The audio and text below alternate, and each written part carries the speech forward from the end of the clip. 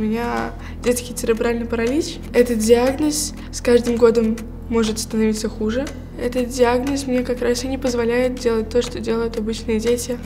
И это дается мне сложнее. Даже подниматься по лестнице мне тяжело.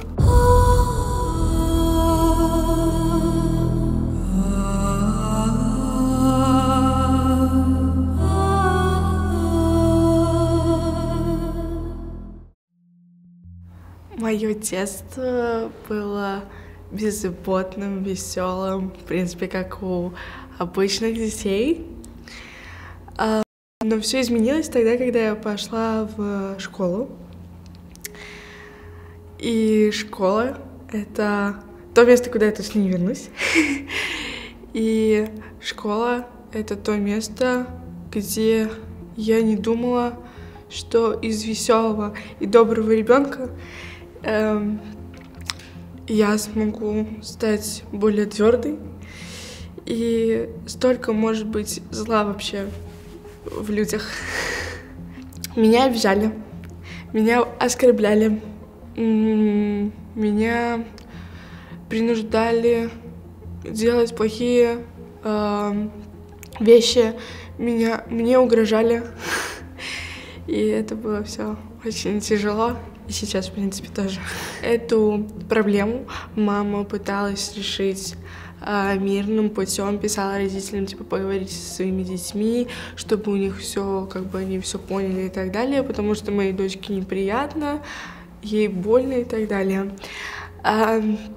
Родители, мы не знаем, говорили, не говорили, но результат этого никакого не давало. Учителя об этой ситуации прекрасно знали, они могли только меня опозорить перед классом, сказать, что типа обратить на меня внимание лишнее, которое мне не надо, и потом после этого и потом после этого э, урока, когда это все обсуждалось, меня еще сильнее обижали.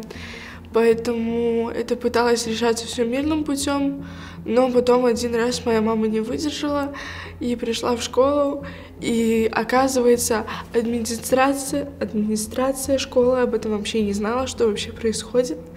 А, я хожу в обычную школу, и вместе с моей сестрой, и дети не понимают, а, что я могу отличаться от них, и я что-то не могу сделать. И они, я ему пыталась объяснить хорошо, что вот я так не могу, я могу сделать по-другому. Вот. Но они все равно меня не слушали, они меня оскорбляли и обижали. А, и это очень тяжело, когда в классе 31 человек, и только четыре из них на твоей стороне, а все остальные тебя булят, обижают, не понимают, оскорбляют. И это тяжелый был период в моей жизни, который продолжается и сейчас. Я не могу бегать быстро, выполнять какие-то эстафеты так, как хотелось бы детям, которые в моей команде или, ну, я в их. Вот. Э, не могу выполнять какие-то упражнения. Э, зато я выполняю лучше всех остальных мальчиков, э, подтягиваюсь, отжимания. Вот, но они смотрят не на то, что я умею делать лучше их, а только на мои минусы. И, и на это указывают внимание, что я не умею то делать, что я как-то это плохо делаю, что я их подвожу и так далее. Я не могу, потому что у меня детский церебральный паралич. И этот диагноз с каждым годом может становиться хуже. И этот диагноз мне как раз и не позволяет делать то, что делают обычные дети. И это дается мне сложнее. Даже подниматься по лестнице мне тяжело. Вот. А как я пришла в спорт? В спорт я пришла достаточно спонтанно. Я всю свою жизнь занимаюсь спортом, но как именно в теннис. Я была на реабилитации. Я вижу объявление, что вот будет теннис, и можно сходить попробовать. Я сходила, попробовала, а, поняла, что мне очень понравилось. А, меня пригласили в, спорти... в Олимпийский центр, где раньше проходили занятия, и там а, меня затянуло, и вот я уже четвертый год занимаюсь теннисом на колясках. Успехи хорошо, я восьмая ракетка мира среди девочек-юниорок. Третья девочка в Европе, которая попала в топ-10. Э, так что и я в латвийской сборной э, по теннису на колясках. Да, в детстве я не использовала коляску, я все, всегда передвигалась на своих ногах. У меня есть э, маленькие оборудования, которые мне в детстве помогали э, передвигаться, но коляску да, я не использовала как на постоянной основе. Коляски в теннисе спортивные именно отличаются от э, тех, которые люди используют в обычной жизни. Э, это заняло буквально две, два, две недели, чтобы привыкнуть, чтобы начать хорошо ездить. Э, но это заняло у меня две недели, потому что у меня хорошо работает верхняя часть и руки тоже. Те, у кого с руками проблема и с верхней частью, тем это, конечно, тяжелее, потому что ты, получается, везешь твой вес на своих же руках, и поэтому руки у нас сильнее, чем ноги.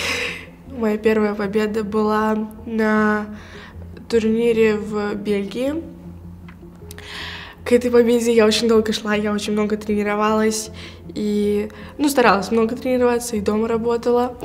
Эм, и когда я победила, это было такое счастье, что я победила, что я справилась, потому что та девочка, с которой я играла. Она тренируется пять раз в неделю, плюс у нее спортзал и там всякие диетологи, за ней стоит целая команда. И я так была счастлива, что я ее выиграла. Это неописуемое ощущение. Я желала, чтобы каждый, кто занимается спортом, ощущал это, ощутил это э, ощущение победы, когда ты справился, когда ты выполнил свою цель. Э, и я была безумно рада. я даже плакала, когда я выиграла, потому что это было достаточно тяжело, чтобы выиграть. И я справилась с этим. Я на каждой тренировке тренируюсь так, будто я тренируюсь в последний раз.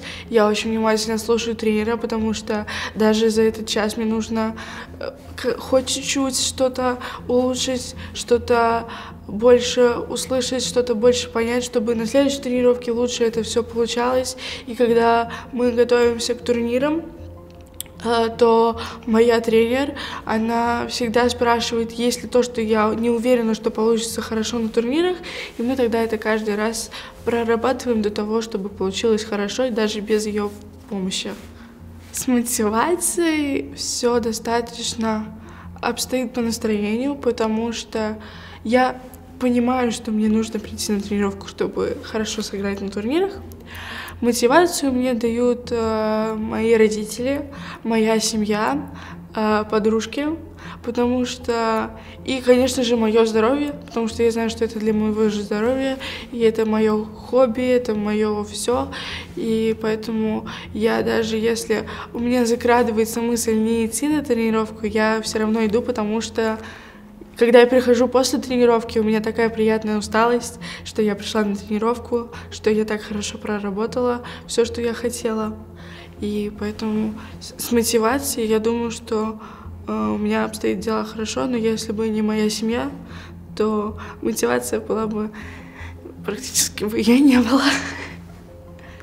А по поводу Паралимпиады, а, через годик-два я хочу уже вот что прям нацелиться на это, чтобы быть готовым, чтобы меня взяли туда, чтобы попасть, в принципе, на Паралимпийские игры. Uh, нужно пройти классификацию uh, на чемпионат мира, поехать на чемпионат мира, а потом уже после чемпионата мира у нас Паралимпиада. Я считаю, что я достигла многое в свои 14 лет, я считаю, что это неплохие результаты, э, хорошие результаты, к которым многие э, идут много лет. То есть я была э, на классификации чемпионата мира, когда многие в свои 50 лет туда не попадают, а я в свои 14 там была. Поэтому я считаю, что я хороших результатов достигла в свои 14 лет. Я не собираюсь останавливаться, хочу достигать э, еще больших результатов, поехать на гранд-сламы э, и попробовать в них себя. Я сожалею о том, что в какие-то моменты жизни я не смогла собраться и сказать людям, что нет, я не такая, что я смогу, что я справлюсь. И я жалею, что когда было, у меня был очень тяжелый период в жизни, как раз когда в школе типа булили, я э, не смогла справиться с давлением и стала более грубой, более твердой. Вот. А не смогла остаться, не смогла, я уже не могу радоваться так часто, как радовалась до школы, до того момента, как меня начали булить. У меня есть двое сестер и один брат, и моментами я была с ними грубой, э, не потому что я хочу быть с ними грубой, а потому что школа так повлияла, что я уже не могу, как когда мы с ними ругаемся, я не могу им сказать спокойно, что э, так не надо делать или еще что-то, а сразу защитную реакцию. Вот. Э, в спорте, наоборот, наверное, это хорошо, потому что э, ты тогда можешь всю свою обиду, злость, ну, в моем спорте ты можешь обиду, всю злость направить в удары, в ту собрать концентрацию вот как раз этих злых эмоций и направить их все в игру. И тогда уже получается, что у тебя нету ни злости, ни грусти, никаких таких плохих эмоций, которые могут тебе помешать в повседневной жизни, а ты их всех оставил на корте и хорошо позанимался и остался без плохих эмоций.